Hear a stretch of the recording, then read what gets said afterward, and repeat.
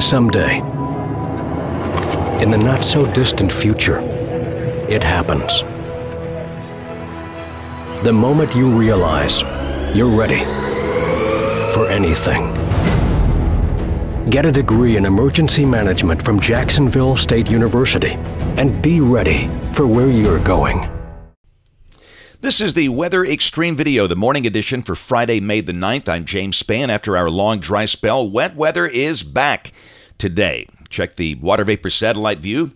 That big trough that's been over the western states is moving out. Thankfully, the core dynamics of this will be passing way north of here, moving up into Canada, so we don't expect any severe weather problems here today. That's the way the radar looked at 504 this morning. The leading edge of that big rain mass west of the state was nearing the Golden Triangle of uh, northeast Mississippi, and that'll be moving into our state later today. Big thermal contrast. Uh, back in the colder air behind that trough, we've got uh, temperatures at or below freezing in some spots, but very mild here. We're starting off the day in the 70s. We stay in the 70s all day. Won't be as warm this afternoon because of the clouds and rain. There is a risk of severe weather west of the state, from the Rio Grande of Texas up through much of Arkansas, West Tennessee, up to near Indianapolis. But again, no part of Alabama is involved in that. Tomorrow, a standard slight risk for much of Missouri. And on day three, which is Sunday, a risk of severe weather from West Texas to near Chicago. But again, uh, no risks defined for our state. Here's the rain for the next five days. This carries us through Wednesday morning of next week, suggesting rain totals of about one inch here. Let's go in there and take a look, see if we can get the timing of the rain down for you. This is the GFS, the Global Forecast System, valid at 1 o'clock this afternoon. This is at 500 millibars. And again, you can see how the core dynamics is passing pretty far north of here. The surface low up in Canada, trailing batch of showers and storms down in through here. This is the high res NAM at 1 o'clock this afternoon. Looks pretty wet. Uh, clearly, there could be some thunder involved, but again, severe weather not expected.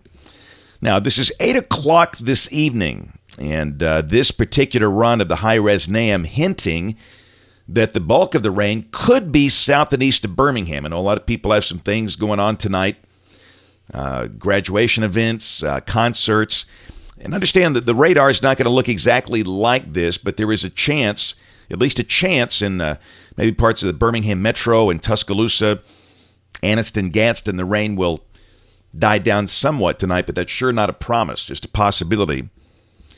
And then tomorrow looks drier. This is tomorrow afternoon at 1 o'clock, and you can see only spotty, scattered showers across the state. So uh, let's look at the GFS.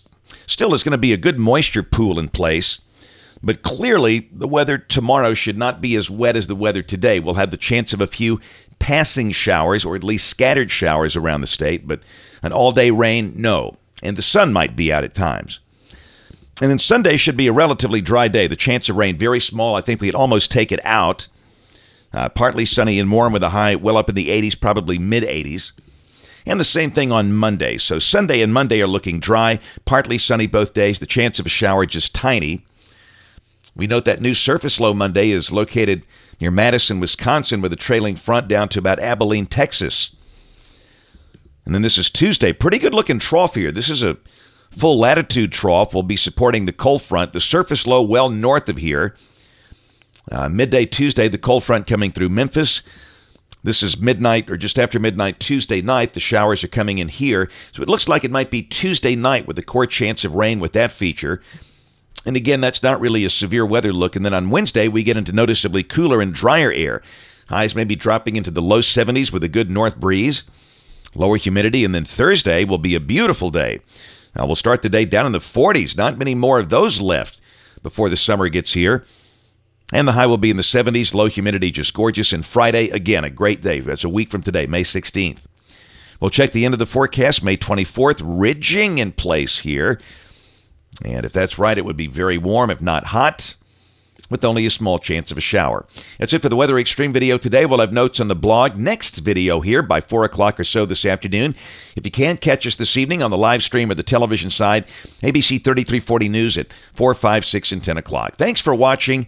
Have a great day and God bless.